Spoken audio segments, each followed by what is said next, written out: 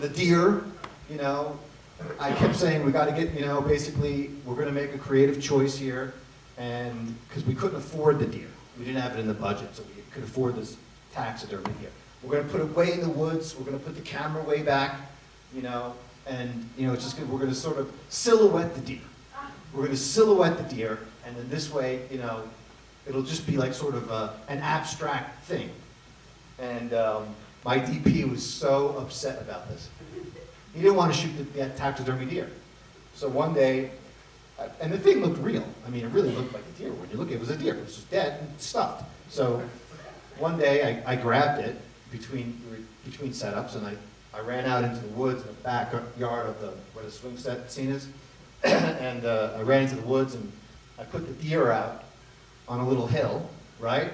And um, I grabbed my AD and I said, here, come with me. So I brought my AD and I went up to Frank, my cinematographer who I love, I'm gonna hire on every movie. And um, I said, Frank, you gotta see this fucking deer. There's a, there's a live deer in the woods right there now.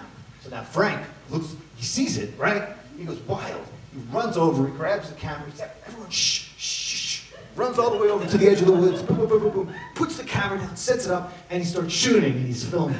And he's filming and he's filming and I'm and I'm pissing myself at this point, you know, because it's a fake deer. And then about, you know, 15, 20 seconds later, he looks up uh, uh, off the eyepiece at me and he's like, that's a fake fucking deer. And I was like, there you go.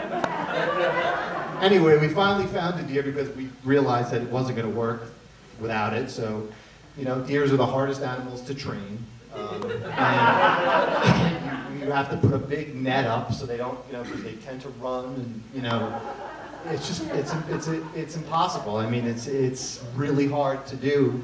But by the end, my, uh, my, we had a, we had a deer day, which was a split day. We had our first, our only second unit day. I went in and I shot with my DP all the inserts of those little homes, little toy homes and all that stuff. And my brother went out with the, with the other camera operator and just got this deer, you know, wherever the hell he could, basically. And it was really tough, but in a half a day they did it and I had everything I wanted for the picture.